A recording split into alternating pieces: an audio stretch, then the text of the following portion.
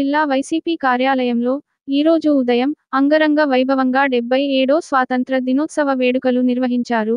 ఈ కార్యక్రమానికి ముఖ్య అతిథిగా ఎమ్మెల్సీ పర్వత్ రెడ్డి చంద్రశేఖర్ రెడ్డి విచ్చేశారు.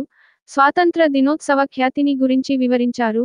ఈ కార్యక్రమంలో మూయుళ్ళ గౌరి శ్రీకాంత్ రెడ్డి మురళీధర్ రెడ్డి ప్రసాద్ తదితరులు ఈ కార్యక్రమంలో పాల్గొని విజయవంతంగా నిర్వహించారు. అనంతరం విద్యార్థులకు చాక్లెట్స్ పెన్స్ అందించారు.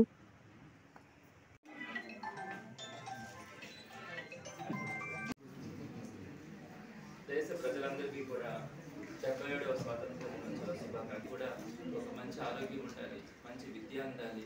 అలానే అందరికీ కూడా ఆహారం మూడు పూటల ఒక చక్కగా ఆహారం తినేలాగా ఈ పరిపాలన ఉండాలన్న ఆలోచనతో ఈ పథకాలు అందాలి. ఎక్కడ కూడా తారతమ్యాలు ఉండకూడదు.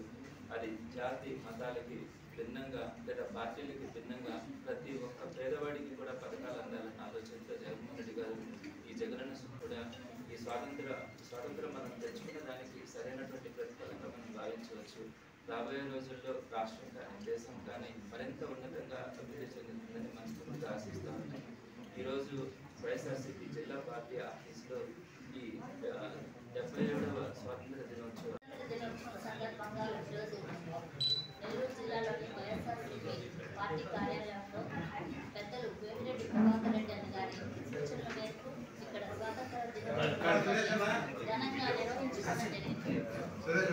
ఈరోజు ఎంతో మంది అమరవీరుల త్యాగ ఫలితంగా ఈరోజు మనం